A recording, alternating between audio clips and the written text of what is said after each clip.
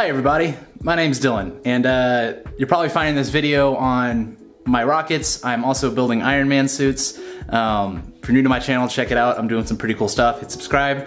But let's get on to what I want to talk to you about. What I want to talk to you guys about today are these little doodads. These guys right here are, this is a sonic no or supersonic nozzle and this is a sonic nozzle. Uh, I'm gonna come back to these and talk to them really quick, but uh, what I did is I took these and I, um, I put them I, I 3D printed them out of resin, um, and they have threads in them, which is awesome that you can do this with a resin printer. And they screw right onto the end of a uh, little air blast for a um, air compressor.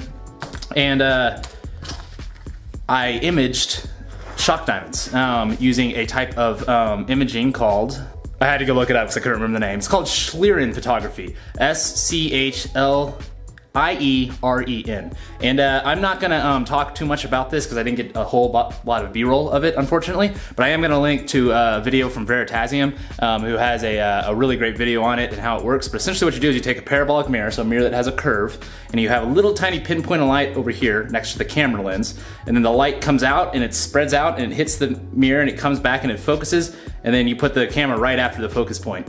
And then what happens is that tiny little bit of light, even though it's so small, is a lot of light coming in, and then because it's coming out straight and then coming back, if it hits anything in the air that's a little bit of a different density, it causes the light to bend slightly as it comes back. So it allows you to image some things that are um, you couldn't normally see with the naked eye. And that is like these guys right here. So the first one I'm gonna show you is the supersonic nozzle.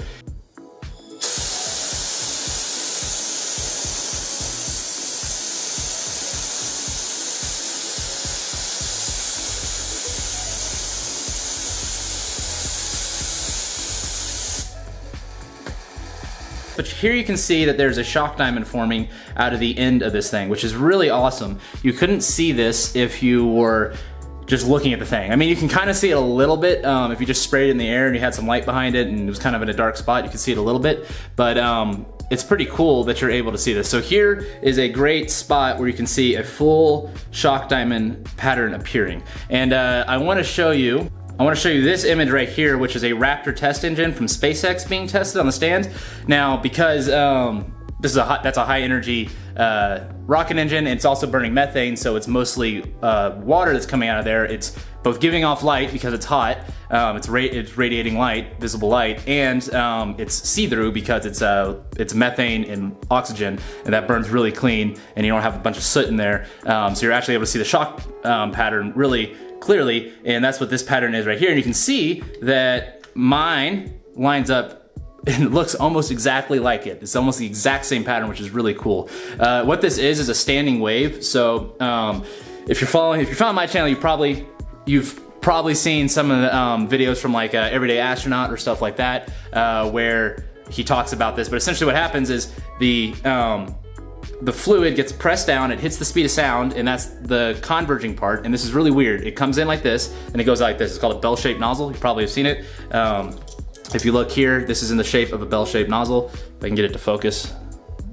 I think you can kind of see that. That is a, uh, a bell-shaped nozzle. So, um, so what it does is the air is pressed down and it hits the speed of sound in the very center of the um, shape, and then as it comes out, it um, so it's really weird. Until it hits the speed of sound, if you make it into a smaller diverging section, it goes faster and faster. But then once it's going the speed of sound, the opposite happens. So if you make it bigger, it goes faster. It's very weird. I don't really entirely understand it. Um, but uh, that's kind of what happens. I'm gonna say right now, this video isn't a full video on like rocket science. I am planning a video on that. Um, I'm working on some of the equations. I have figured out the equations of um, of these nozzles. Um, and that's kind of what I want to talk about because this is like my first real success with rockets and understanding how to design them and make them. I'm going to show you the sonic nozzle. So this nozzle right here doesn't have the um, diverging section on it. It's just chopped off at the throat. So this, and actually I'll show you right, this, this little this little video right here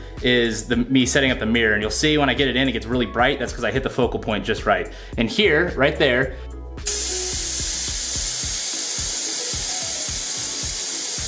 you can see the um, the shock uh, expansion right there. And this one's much different because this one is pluming out and um, and that's and the reason that is happening is because there's energy left in the system, right? So it's crushed down, but then if you expand it out, you would get more of that energy and you get that really stream, and if you do it perfectly, which I was able to do because I, I solved the equations and actually it's mostly like lookup tables and stuff. It's, it's, you actually don't have to solve that many equations to design these things. You just got to understand what you're doing.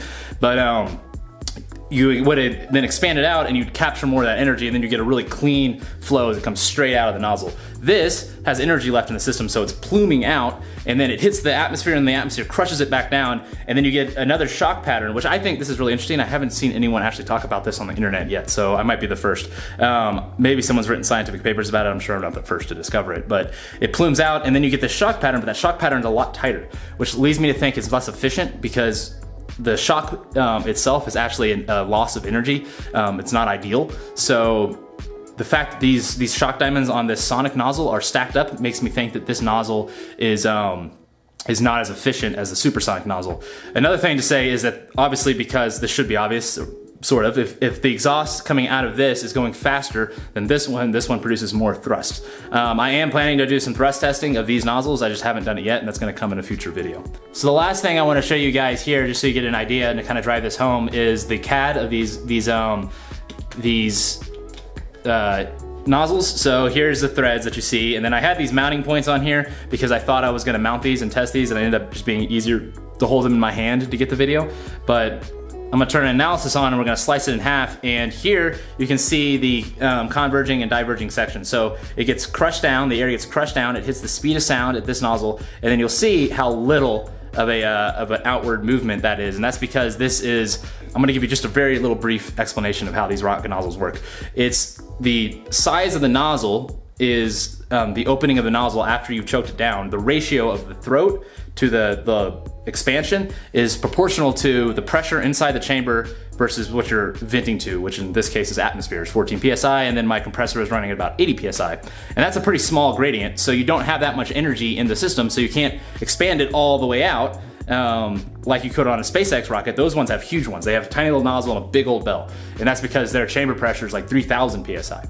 So they're able to really expand that out, but it makes the same shape, except theirs is going much faster. Theirs is probably going closer to like Mach 10, the exhaust. This one is going like Mach 1.7 something, the exhaust coming out of this. So that crushes it down. And then you'll notice these gentle slopes. That's in order to keep the, um, the flow going as laminar and smoothly as possible. And then, um, so that's why the slopes are. And then the rocket shape at the end comes and if you're doing it perfectly, it comes and points out and tries to get the exhaust going straight out, um, not like sending it off at some kind of tangent that's not the direction of the exhaust. So that's how these nozzles are working. And then if I switch over to the Sonic one, you'll see all I did was just cut that right at the throat and then um, test it that way because I wanted to see what that looked like as well. This is pretty cool stuff. Uh, I don't think a whole lot of people have imaged uh, rocket nozzles using this type of photography, even though this photography even though this photography has been around for a long time. Um, I know there is a couple of academic papers written on this, but I think I might be the first YouTuber um, to talk about this. So yeah, like I said, this isn't a full video on um, rocket science. Uh, the equations that I'm using to design these nozzles is right, but right now my equations on the thrust that these are producing is telling me that the thrust is too high.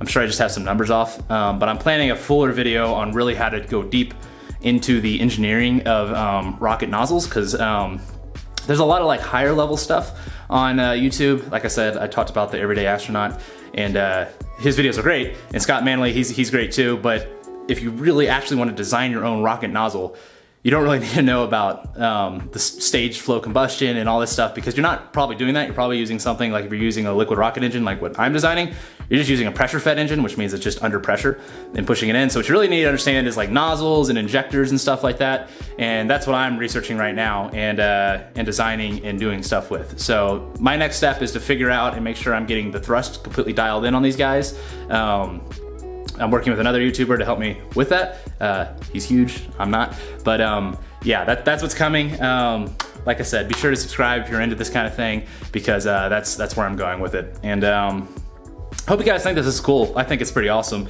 Um, I might not be showing my excitement as much as I was.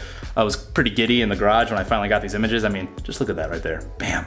Let's just watch that one more time, shall we? Yeah, there you go. And it's cool how it's like just stays stuck to my hand, right? You can sort of see, one thing I didn't say, is you can see a mirror, like for some reason, the exhaust is showing up in the mirror um, too, so you're seeing a double image. So keep that in mind as we watch this for the last time. Yeah, I just think that's super cool. You can do that in a garage with just an air compressor. So one final note, I thought it'd be cool to make uh, attachments for air compressors that you could screw them in, get these cut out of brass, and then you would have for blowing away stuff in your garage, which is what you use these things for, blowing away dirt, you'd have the highest efficiency use of that air coming out of there because it'd be going as fast as it possibly can. Um, given the, the, the, ratio of the compressor to the uh, atmosphere. That would be a cool product. I might do that at some point. Yeah. That's all I got for you guys. Um, not a super long video. I just want to show you my findings and what I had going on, and I think that's pretty cool. I hope you did too. Bye.